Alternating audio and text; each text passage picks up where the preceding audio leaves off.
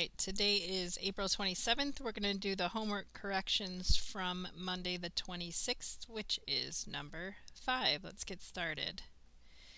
Number 1, the height of a room would most likely be 10, is it feet, inches, or yards?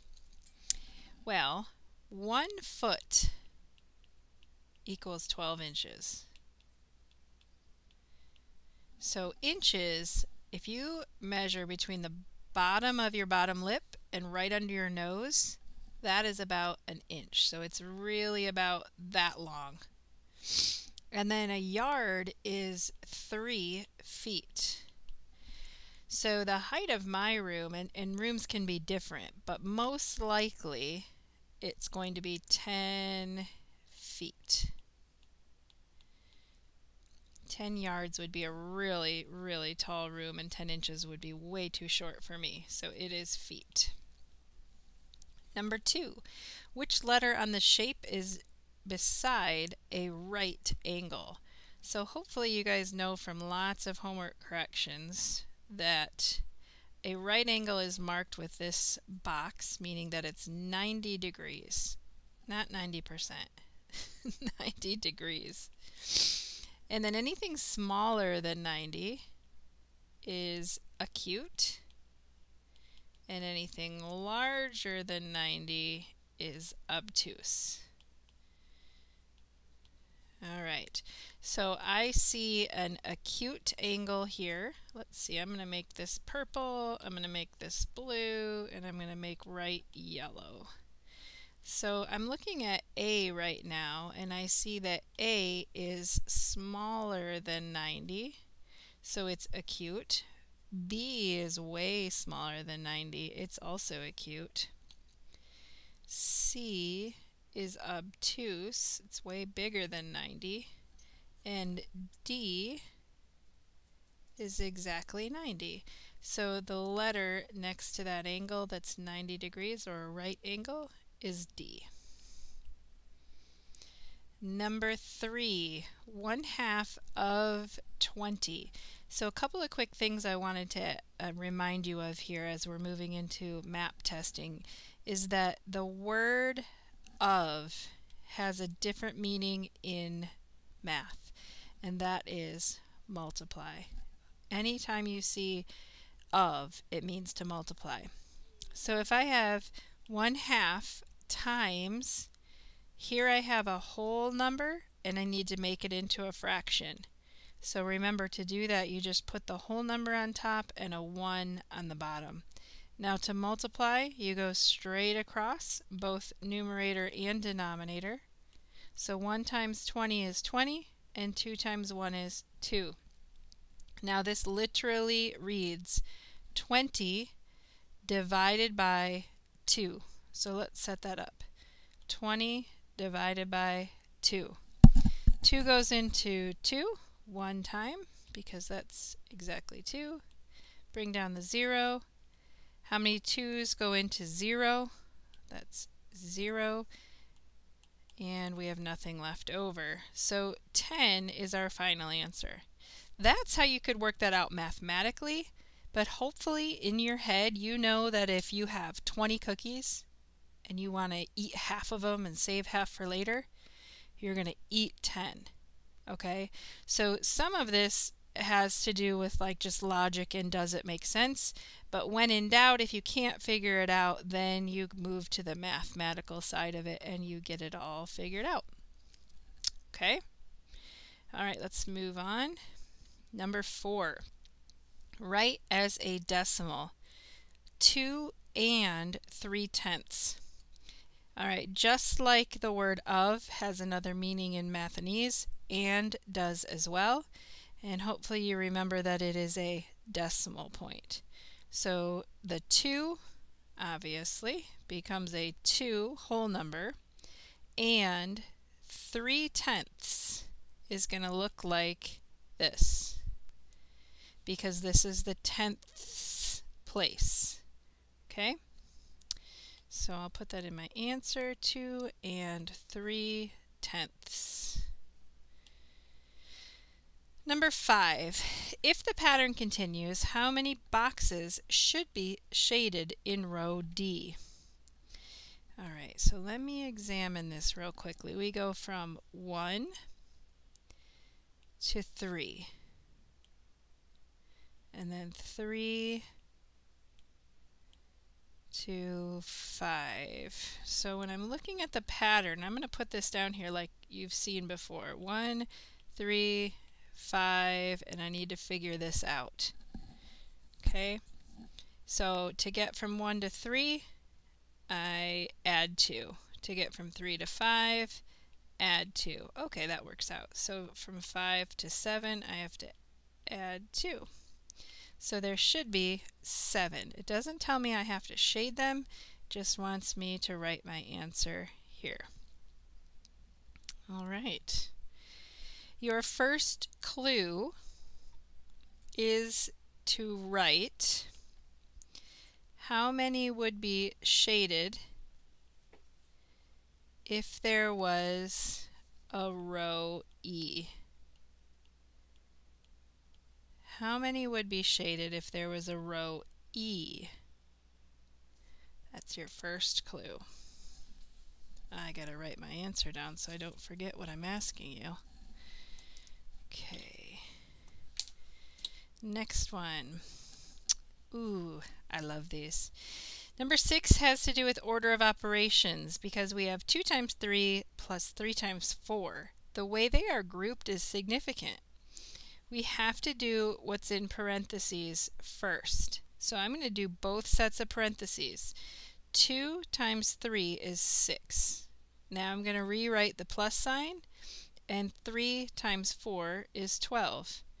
So now, really easy, I'm left with 6 plus 12. And 6 plus 12 is 18. If I did that in a different order and ignored the parentheses, we would get a very different answer. So it's important to make sure we're paying attention to those parentheses. Number seven, what is the area of the shape to the right? Now, Jocelyn asked about this yesterday during class. She was working on it, and it's as simple as counting the squares, but I want to show you why. Okay, so one, two, three, four, five, six, seven, eight, nine. The area is 9. Okay, let me show you why, and I'm going to do this in red if I were to draw the rest of this shape in making it a rectangle,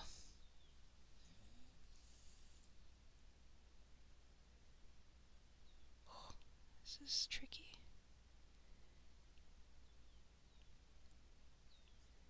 Okay, so now it is a rectangle, and if I were to count the sides, I'd have one, two, three, four, five. And if I were to count these sides, I have 4, right? So area equals length times width. If we wanted to figure this out, I could say it's 20 minus all the ones that are red. Minus 1, 2, 3, 4, 5, 6, 7, 8, 9, 10, 11. So 20 minus 11 gives us 9. So we can still use this formula to think about area, um, but when you're given a, a shape that's broken down into square units, you can absolutely just count them. So I hope that makes sense. Number 8. In the chart to the right, the y numbers are blank times the x numbers. So here we are with x's and y's again. This has to do with our axes, it has to do with algebra, um, and it'll all come together as you get into 6th and 7th grade math. But let's make sure we're paying attention to our x's and our y's. So it says the y numbers are blank times the x numbers. They must be bigger. So how do I get from 1 to 3? how do I get from 2 to 6? And how do I get from 4 to 12? What's the common operation that I use? Well, 1 times 3 gives me 3. 2 times 3 gives me 6. 4 times 3 gives me 12. Whoops.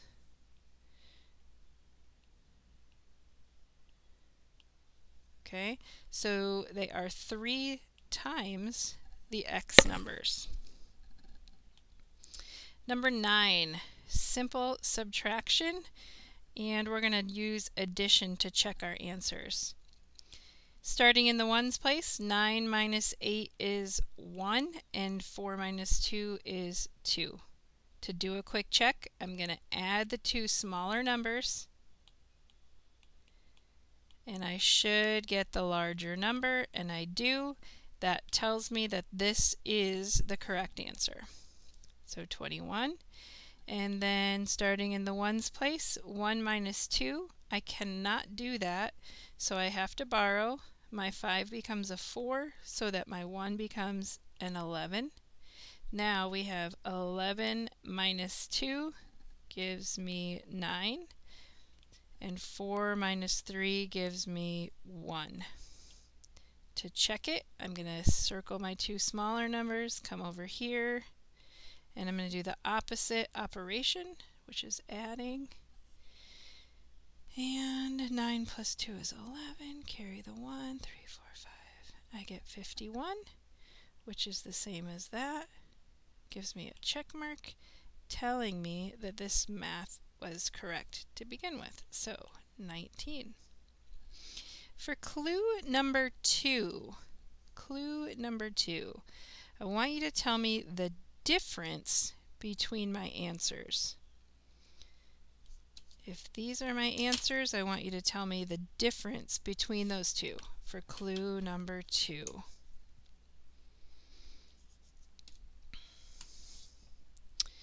All right, now we have some multiplication. Um, at this point in the year, I really shouldn't be using my multiplication chart. Hopefully they are in my head with mastery. So 4 times 5 gives me 20. Put down the 0, carry the 2. 5 times 1 gives me 5, plus 2 more gives me 7. So 70. And over here, 7 times 3 gives me 21. Put down the 1, carry the 2. 7 times 2 is 14, plus 2 more is 16. Remember, these are fact families. So I could easily ask you, hey, what is 70 divided by 14? And you should be able to tell me that it is 5. Or I could say, what is 161 divided by 23? And you would be so smart and be able to tell me that it's 7. All right, number one on ELA side. Compound words are words that are made by combining two smaller words. For example, aircraft is made up of the words air and craft. Some of the words below, sorry, combine the words below to form compound words. So, for example, if we have out and door, we can smash those together and make the word outdoor. Doesn't work for just any two words. Okay, I can't take um, book and towel and make a book towel. That that's nonsense. So some of the things work and some of them don't. If I were to take down and hill, I would be making downhill. If I were to take fire and house, I would make firehouse, which is where the firemen hang out and keep all of their supplies while they're waiting to be called out to a fire. Number two, last week we learned all about the period. Without our next punctuation mark, you wouldn't be able to ask questions. It tells the reader that an answer is expected. This punctuation mark is known as the question mark. Read the following three sentences. See if you can figure out where the two question marks and one period belong. So remember, it tells the reader that an answer is expected. Are you going to the store? Am I expecting an answer? Yes. So question there. I like to eat pizza. Does that indicate that I'm expecting an answer? No. So that one has a period. Do you like to eat pizza? That one definitely, I'm looking for an answer. Okay. Number three, comparing means to take two objects and look for traits they have in common or for differences. One form of comparing is known as simile. That's how you pronounce it, simile. A simile compares two objects and generally uses the words like or as. Read the three statements below. Circle the two objects that are being compared and underline the connecting word. When you have directions asking you to underline or circle, this is a really good idea, is to circle the things you have to circle and underline the things you have to underline. That way I quickly have a visual and I remember what I have to do, so I'm following directions. So number one says, Tamar was as tall as a tree. So we're using as. I'm going to underline the as and the two objects Tamar and tree. Uh, number two, Mary was bright like the sun. Like gets underlined. And I'm comparing Mary to the sun. The city shone like a torch in the night. So, like again, and I'm comparing the city to a torch. Cool. Number four, quick write. Read the prompt. You must choose one of the two choices and use at least three sentences to explain your decision. Would you rather eat baked ladybugs or fried worms? This one, believe it or not, is pretty easy for me. Um, I would much rather eat baked ladybugs, but let me think about why. It just seems that if you bake something, it's crunchy. It's not mushy or gooey, and I can handle crunchy more than gooey. Uh, worms really just gross me out at any point, and ladybugs don't bother me. Okay, so I would rather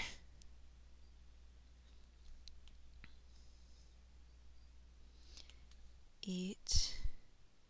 Oh, I got a good one too. A good reason. Baked ladybugs. Period. So that's one. I have to do three. I can handle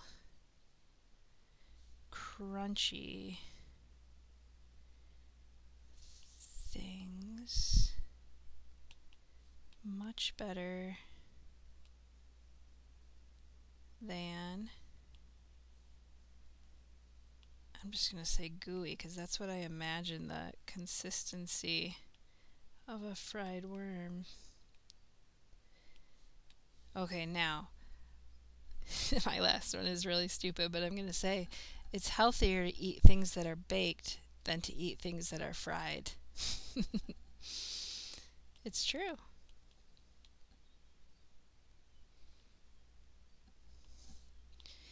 To eat baked food.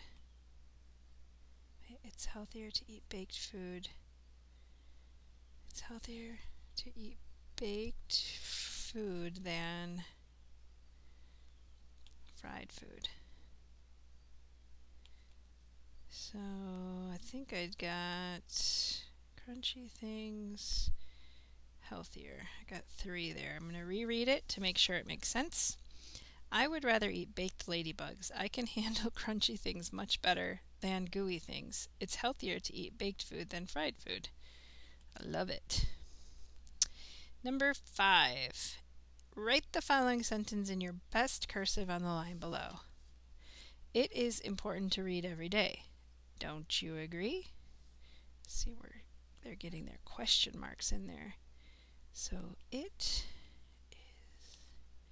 Notice when I do these, the things that go above and below the lines, like that tall T. It is important to read. Here comes the tall D.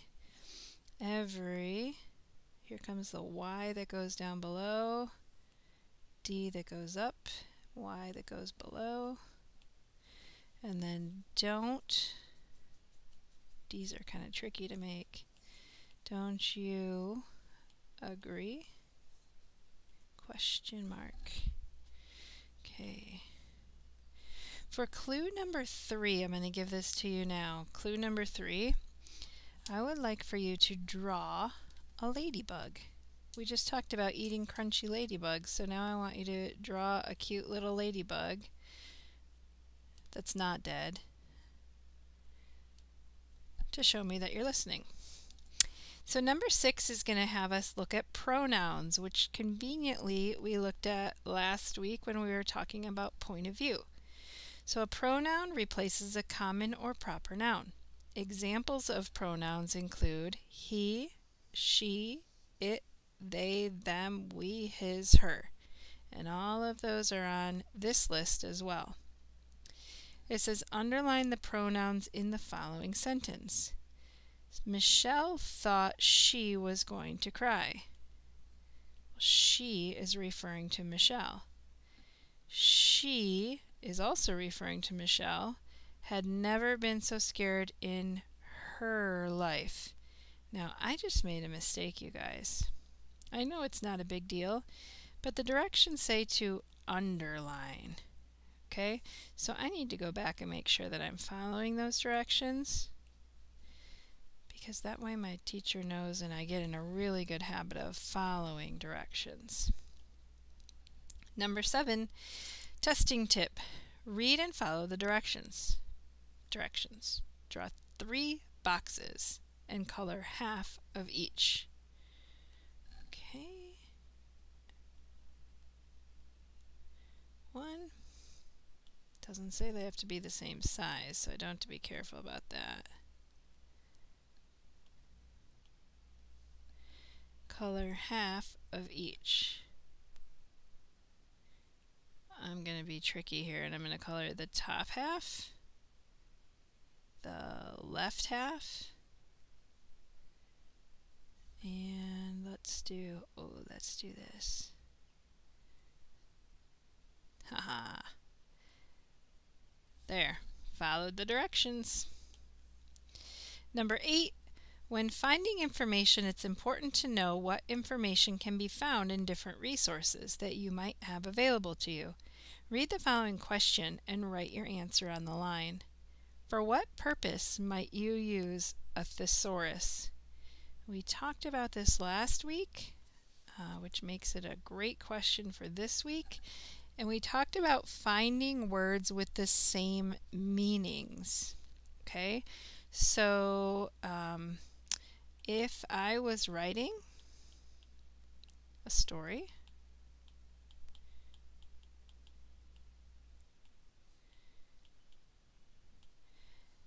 uh, and I needed a word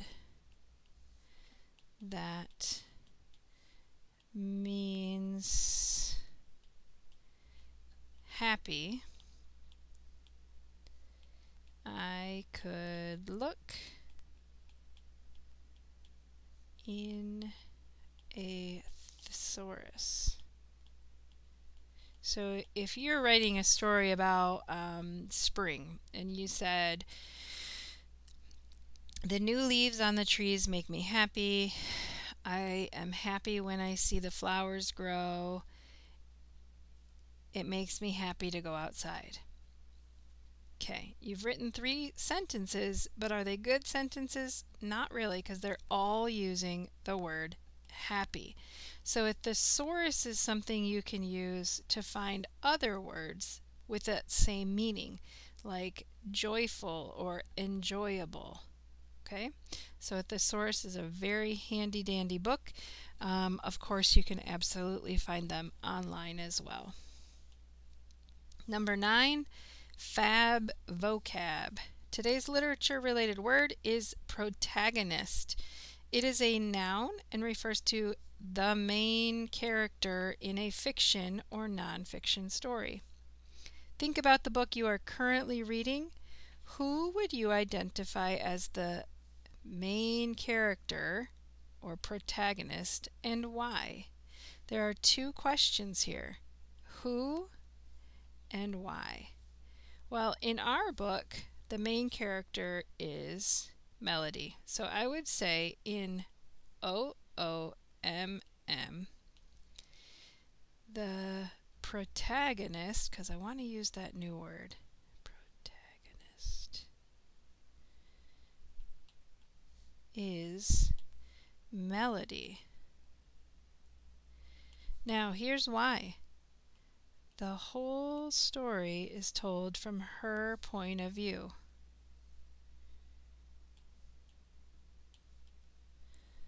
And I'm going to uh, shorten point of view to just POV. Okay? She's the main character. Everything that we're learning about, because it's told from her point of view, is happening to her. All right, now if you're still listening, you have two numbers written down and you have a picture drawn.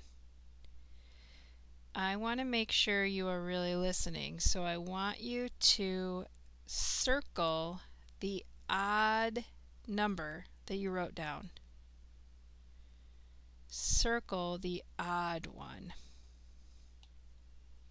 All right, come back to Zoom with your three clues. Um, the one I asked you to draw a picture of, if you're putting it in clues, you can just write the word of, or you could find the emoji for it. Okay? Make sure your homework is uploaded to Seesaw for homework number five. Again, both front and back. I still have people not doing both, and you will not get credit if I don't have both.